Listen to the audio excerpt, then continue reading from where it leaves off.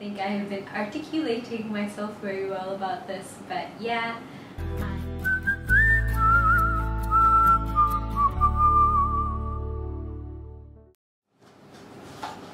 Hey everyone, it's Aradna.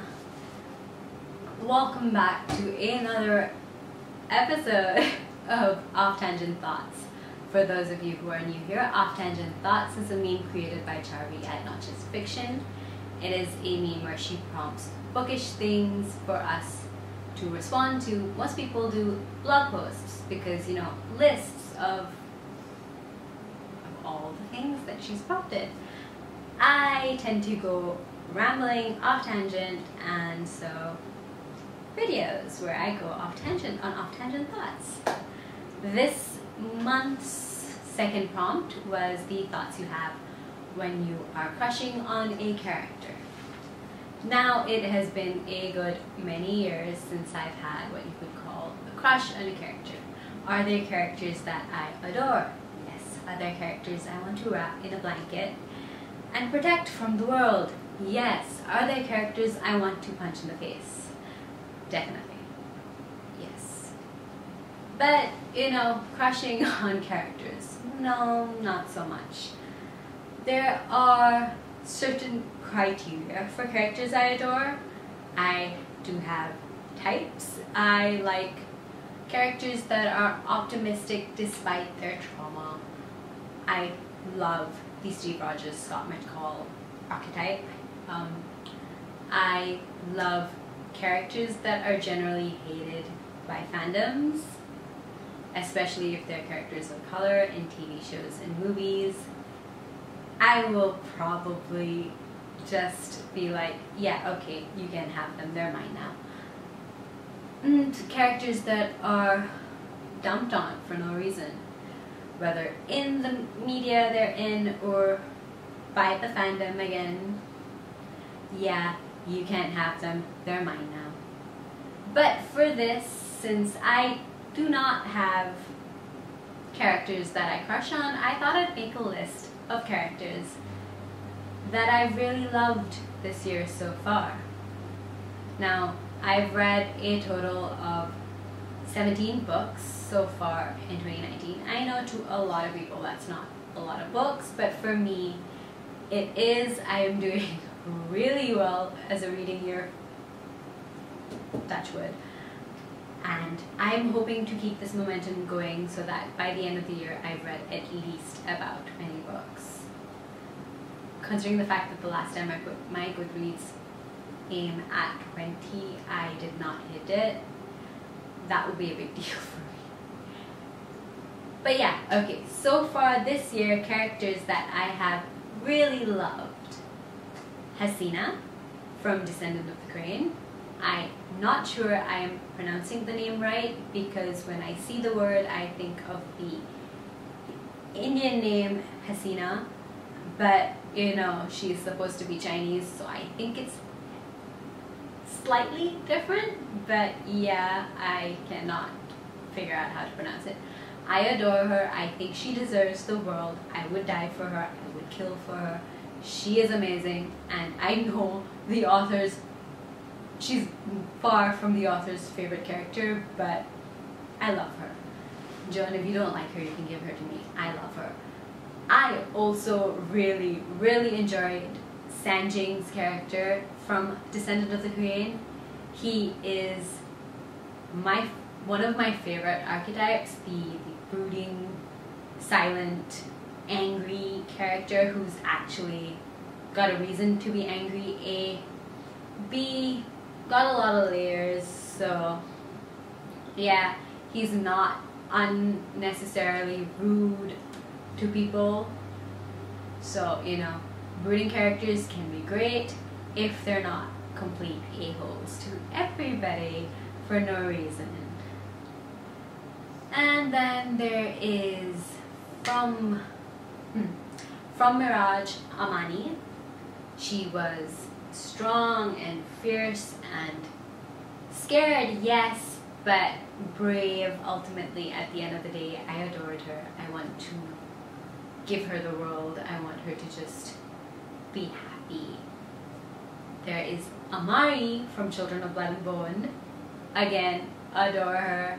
Scared and yet still so brave. I love characters who are brave even though they are completely terrified, whether for themselves or for their families.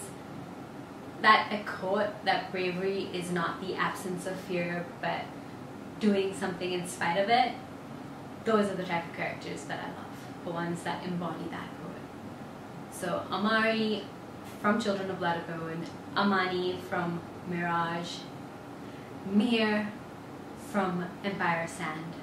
My god, she was. There's just something about Mehr that spoke to me. The lengths she would go to to to protect the people she loves, the the fact that her world was crumbling around her and yet she's just continuing on. Uh, she's an inspiration in a way. and then Amun from Empire of Sand, my god. Characters with that much angst in the background and who are still good in spite of it. Just, ah. I love him, I love Mehr, I love them together. I just want them to be happy. Like, oh my god, okay, maybe I do have fictional crushes. Not exactly the I want to be their girlfriend type of thing, but more I would die for them, I love them, I would do anything for them, I just want them to be happy kind of thing. And then I finished the Oromare Chronicles this year, all three books. I did not expect to love Bleak as much as I did when I started the novel. At the beginning of the novel, I was like, okay, she's kind of annoying. I see where she's coming from, but she's a little bit annoying. By the end of the third book, I am like, hi, can I like be your friend? Can I adopt you? Okay, no, not so much adopt you. She has too much issues for me to want to adopt her. But can I be your friend? Can I hang out with you? She's just, wow, the amount of growth in all three, over the course of the three books. Just, Bleak is just, wow, you guys. Wow. And then finally, I finished The Good Thieves um, earlier in July, and Vita, Vita, my love, is the cutest. She is smart and fierce and unafraid of what things could mean for her, even when she's afraid of what it could mean. It's, I don't know how to explain Vita, only that if my daughter grows up to be that type of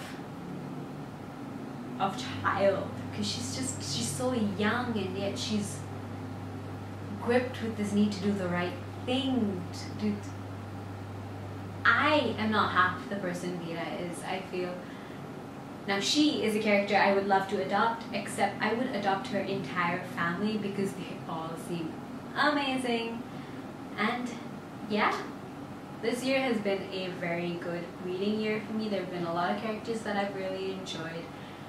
And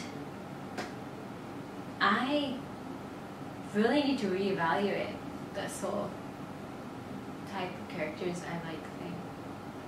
Ultimately, I like good characters. Characters that choose to be good. Characters that are not a-holes for no reason. I mean, yeah, okay, they can be a-holes as a defense mechanism sometimes or in defense of someone. I get that. I am that. But characters that are good, that inspire me, those are my favorite type of characters and I love seeing them in books and somehow I find they're not characters that are main characters. I think people find them boring. But yeah, who have been some of your favorite characters in 2019 so far? What are your types of favorite characters? Um, do you have a type of favorite character? Like I do, I do love a lot of characters. do not get me started on TV show characters. I will not stop. And yeah, so like this video if you enjoyed it, subscribe if you enjoyed my content, and until next time, bye!